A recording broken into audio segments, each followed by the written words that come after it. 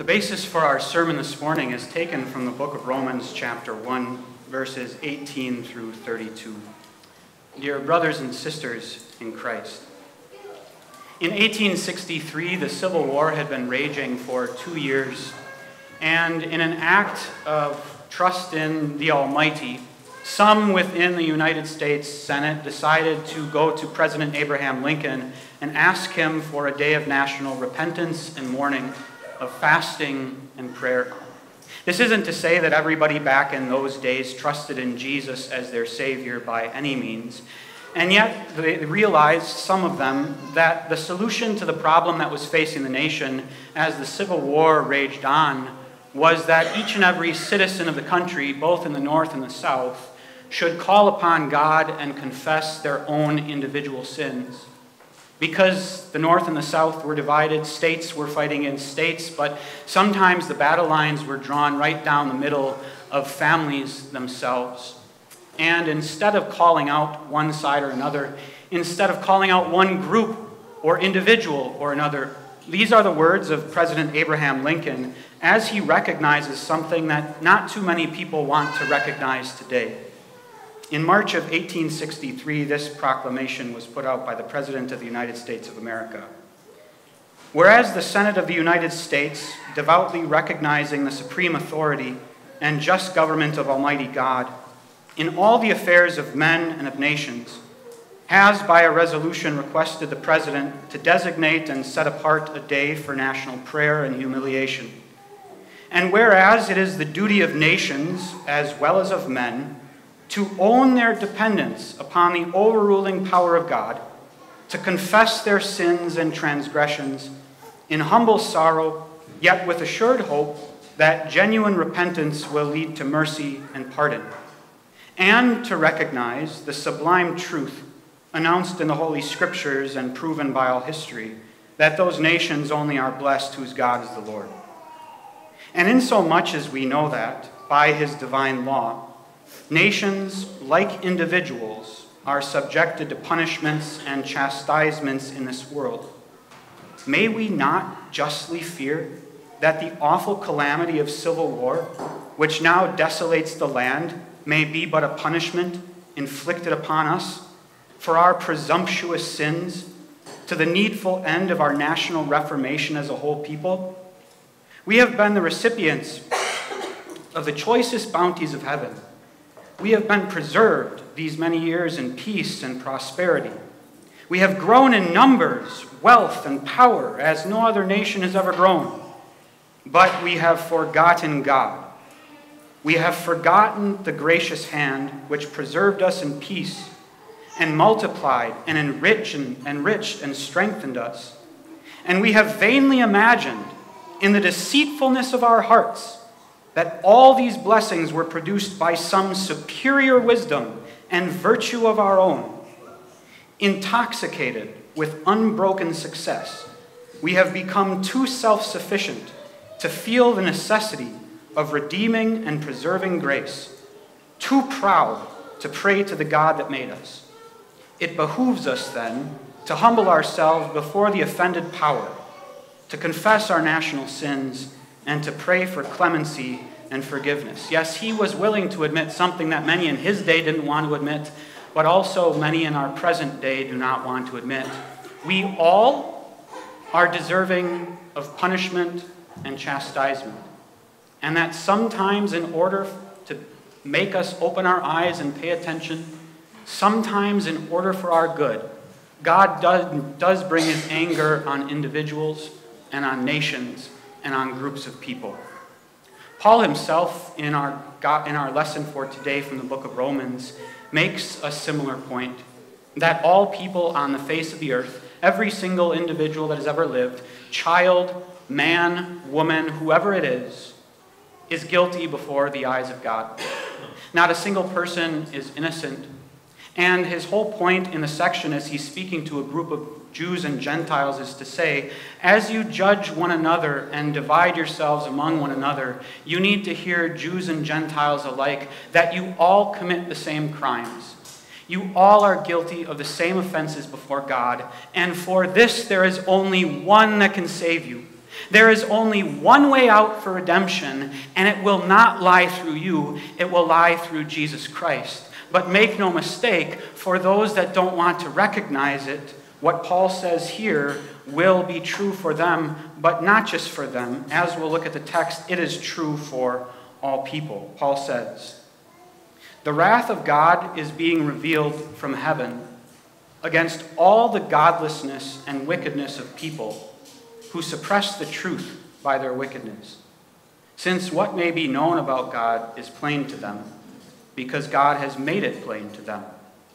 For since the creation of the world, God's invisible qualities, his eternal power and divine nature, have been clearly seen, being understood from what has been made, so that people are without excuse. For although they knew God, they neither glorified him as God nor gave thanks to him, but their thinking became futile, and their foolish hearts were darkened. Although they claimed to be wise, they became fools, and exchanged the glory of the immortal God for images made to look like a mortal human being, and birds, and animals, and reptiles. Therefore, God gave them over in the sinful desires of their hearts to sexual impurity for the degrading of their bodies with one another. They exchanged the truth about God for a lie and worshiped and served created things rather than the Creator, who is forever praised. Amen. Because of this, God gave them over to shameful lusts. Even their women exchanged natural sexual relations for unnatural ones. In the same way, the men also abandoned natural relations with women and were inflamed with lust for one another. Men committed shameful acts with other men and received in themselves the due penalty for their error. Furthermore, just as they did not think it worthwhile to retain the knowledge of God, so God gave them over to a depraved mind, so that they do what ought not to be done. They have become filled with every kind of wickedness, evil, greed, and depravity. They are full of envy, murder, strife, deceit, and malice. They are gossips, slanderers, God haters, insolent, that means rebellious, arrogant, and boastful. They invent ways of doing evil. They disobey their parents.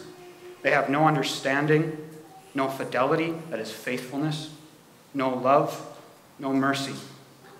Although they know God's righteous decree that those who do such things deserve death, they not only continue to do these very things, but also approve of those who practice them. And just one more verse that I'm going to include to make Paul's point.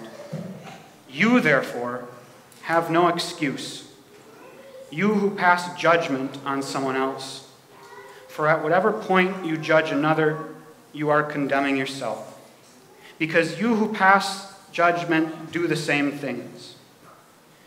Paul's whole point is don't let anyone arrogantly point the finger at another person or another group to think that they are the problem with the world before first pointing the finger at ourselves to willingly admit and confess, Lord Jesus, if there is a problem with this world, if there is a problem with wickedness and sin, Lord Jesus, I am the chief.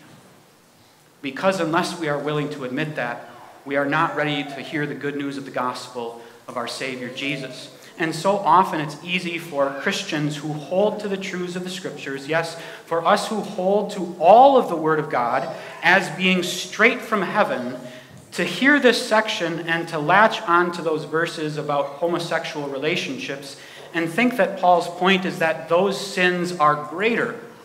Paul's point is not that those sins are greater.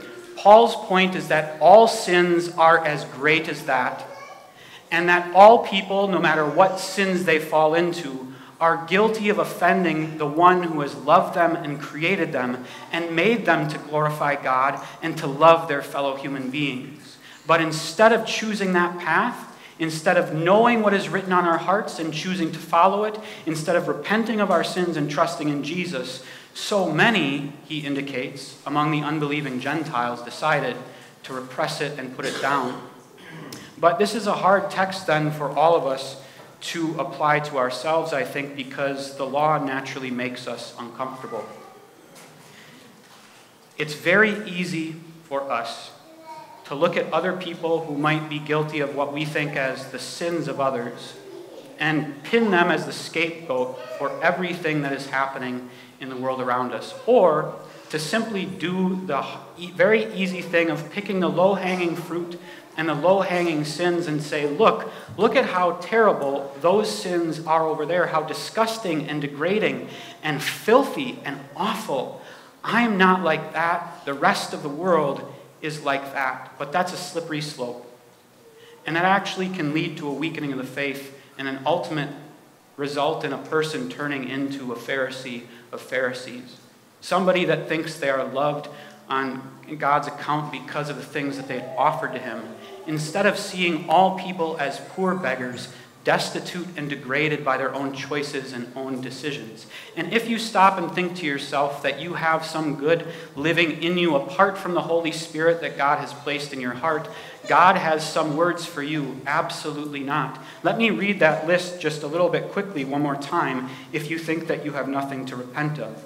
They have become filled with every kind of wickedness, evil, greed, and depravity.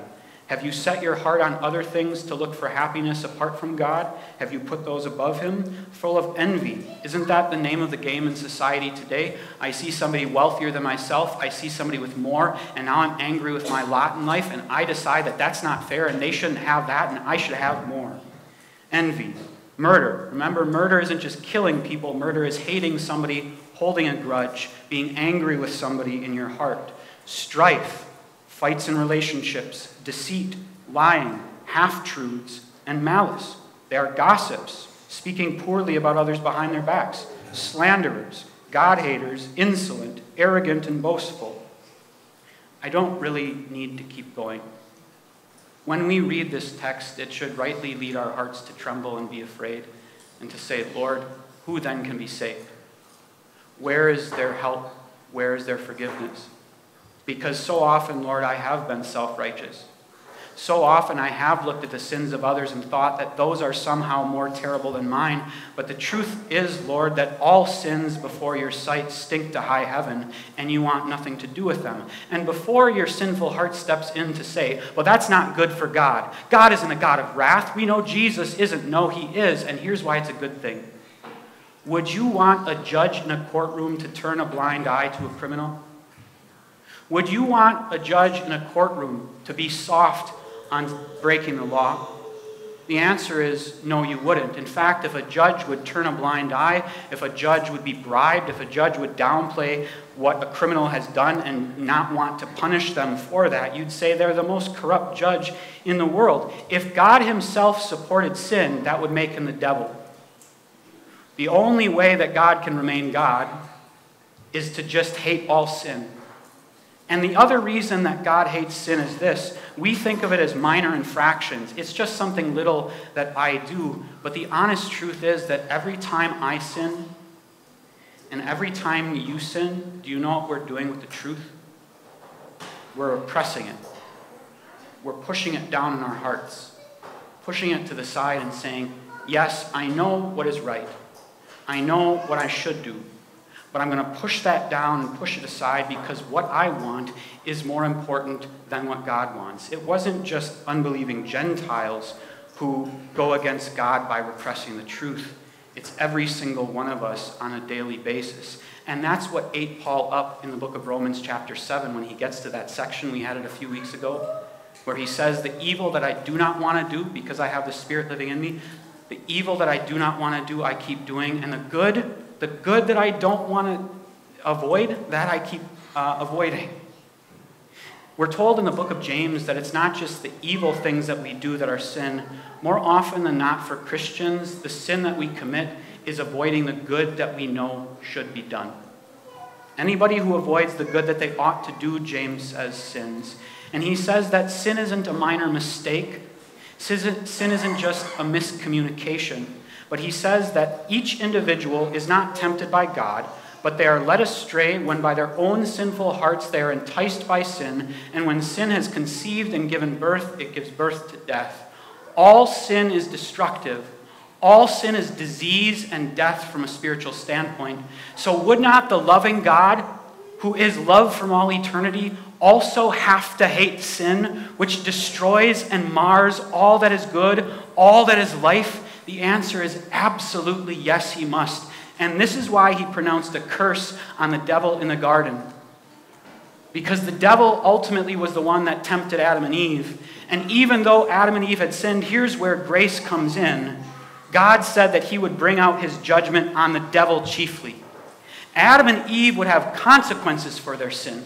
They would experience the wrath of God and chastisements and discipline on a daily basis, but also that they would remember this world is broken. And the reason this world is broken is not because of Eve, my wife, as Adam wanted to do when he took an ate. And it's not because of the devil and God, as Eve wanted to do, and Adam over there, as she wanted to do. No, the reason the world is broken today is because of me and because of you. But here's the great love of our God that He does not want anyone to be lost to the fires of hell.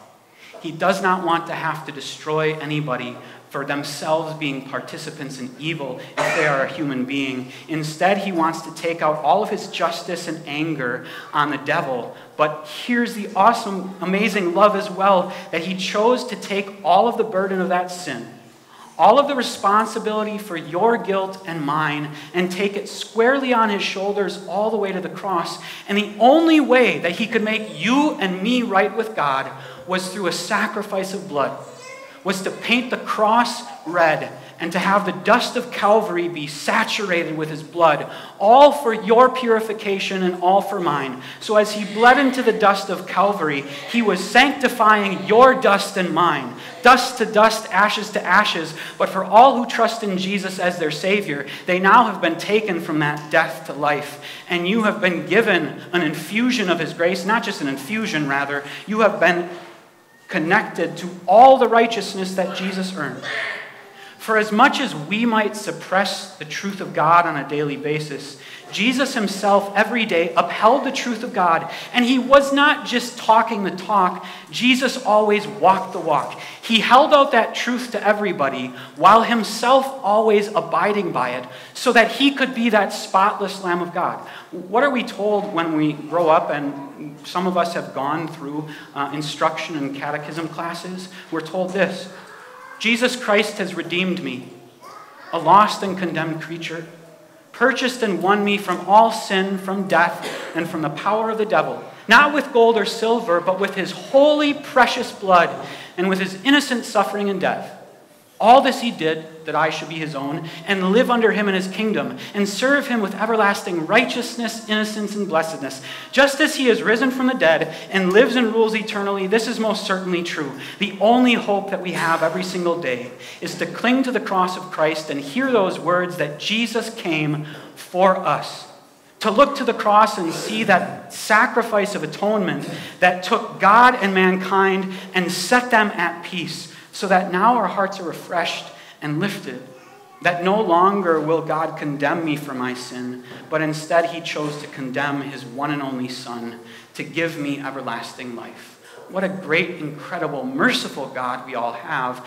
And this is what he wants everyone to know. So let's never be self righteous. But there is one other thing that we have to talk about in our text for today because this is a hot button issue it's the sin that is called out in this passage, the sin of homosexuality. In connection to what I had just said, we need to understand as Christians that all Christians struggle with different types of sin. You could be a person sitting here right now today, and maybe you have temptations to be attracted to the same gender. But you struggle and you fight against that sin. You struggle and fight against it every day, and sometimes you fall into it, but after you do, you say, Lord Jesus, please forgive me for this. I know this is wrong, and I'm going to keep fighting, but more than that, I just need your grace to give me strength to keep on going. If that is you, then Christians can assure that individual your identity is not found in your temptations. Your identity is not found in sometimes when you trip and stumble and fall into things that are wicked and wrong. Your identity is rooted in Jesus Christ. Paul himself even talks about this in the first book of Corinthians when he says, Some of you once were thieves and drunkards and homosexual offenders. That is what you once were, but now you have been washed and redeemed and sanctified by the blood of your Savior Jesus. It is possible for people to struggle with those things, but to fight against them and then, by God's grace, to trust in His, in his love and mercy. They will be saved because they have faith in Jesus and they confess and repent of that sin. But there's something else that we also need to understand for today that for those who don't repent of that sin, and for any sin for that matter, who latch on to something that is a vice, something that is forbidden in the scriptures, and they say, This thing I will not be sorry for. This thing I want you to accept. This thing I want you to tolerate and celebrate it with me. Bring me in as you would anybody else and tell me that everything I'm doing is okay. God has very clear words in Scripture about that, and He says, if you reject Him, you will not be saved. This is not just about the sin of homosexuality. This is about the state of the heart. And this can be true for somebody that's guilty of a sexual sin, but they're straight as well. It could be somebody that's guilty of any other sin. The point is are you willing to confess and repent of your sins and to look to Jesus as the only one who can save you? Or are you latching onto a sin and holding on to it and wanting no one else to tell you otherwise and wanting other people to join you in it? Here's the thing that we need to all understand as Christians living in the society in the Western world that we're living in tolerance is not a Christian virtue. Tolerance is not a Christian virtue. Nowhere on the pages of Scripture do you see God say to tolerate sin. In fact, in the book of Habakkuk, when the prophet is talking about God himself, he says in chapter 1, verse 13, This is God now. Your eyes are too pure to look on evil. You cannot tolerate wrongdoing. And some want to say, yes, but Jesus is a different God from the God of the Old Testament. No, he's not. He is the same. In the Old Testament, we're told about the Lord, I, the Lord, do not change. And in the New Testament, we're told Jesus Christ is the same yesterday and today and forever. Jesus Christ does not tolerate sin because Jesus Christ is God Himself. And we say, yes, but look at how patient and loving He is. Yes, but he always also called people to account. He was the friend of sinners, but he was not the friend that accepted them for their sin. He was not the friend of sinners who tolerated and said, What you are doing is good and okay because all people are sinful. That's fine. In the book of Revelation, we are told this. When Jesus himself, the resurrected Lord, who now is waiting to come back and save all of his people, he says this to one of the churches. To the angel of the church in Thyatira, write These are the words of the Son of God, whose eyes are like blazing fire and whose feet are like burnished bronze. I know your deeds, your love and faith, your service and perseverance, and that you are now doing more than you did at first. Nevertheless, I have this against you.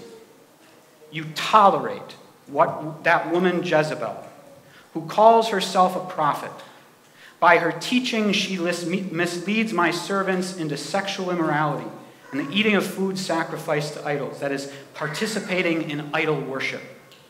I have given her time to repent of her immorality, but she is unwilling. So I will cast her on a bed of suffering, and I will make those who commit adultery with her suffer intensely, unless they repent of her ways.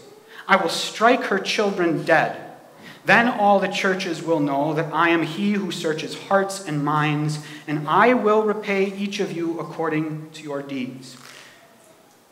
Many churches today that have gotten rid of the idea of the scriptures that they teach that men should be pastors due to God's role of men and women, who now have women leading their churches, very often in those churches, those women take up the same role that Jezebel took up. And they tell God's people that don't know any better, they tell them, You can live in this way. Love is love is love. It doesn't matter if you're gay or straight, it doesn't matter if you're trans or not. You can still keep on in this way of life, and it's okay because God is this and God is that. This is not love. It is wolves in sheep's clothing leading God's people astray and damning people to hell who want to hold on to their sins. It is the exact opposite of love, and Jesus cannot tolerate it, nor can Christians tolerate it, because this does not come from God.